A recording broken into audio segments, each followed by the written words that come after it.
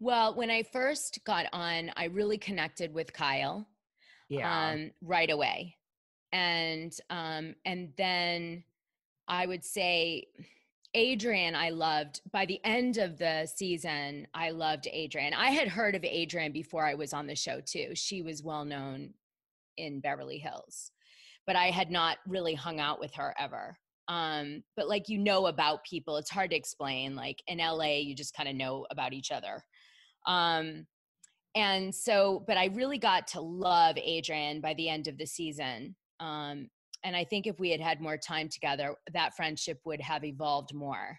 Um, I ended up loving Kim, um, but although we had this like really awkward um, beginning, you know, where I become Pam game night Yes. but um kim and i ended up um i really liked her uh, she was i remember i had developed this like vitamin b shot um and she like wanted cases of it and i brought it over to her house and she just was lovely she's a sweetheart Oh my Uh, God. um yeah and then who else i didn't hook uh, i didn't like I, I hung out with Lisa, but it was always like she's very difficult to know or be around. She's like a great hostess, but she's very like difficult to connect with. Um, and um, I couldn't stand Brandi. Just could not stand Brandi from the beginning. Um, Really? yeah, no, that was like, yeah. Could you tell, like, you just could tell right away what a complete train wreck Brandi was? Yeah, I mean, I just it, it, well, first of all, the producers threw her in. To to be fair, the producers threw her in like a grenade to the group.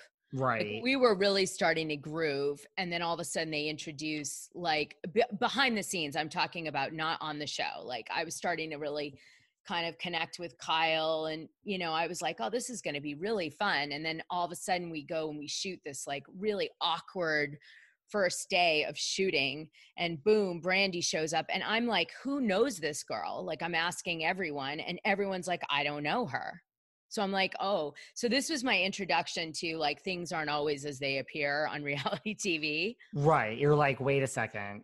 like i was looking not- for anyone to vouch for her like i know her and she's co- comes off weird but she's cool or you know what i'm saying like that's usually how you meet people Right. Totally. and it wasn't like that at all. It was like, no, I don't know her. you know, like, you know. And then um, a lot of the girls had we had kind of connected, and we like they got really um, oh God, how could I say it?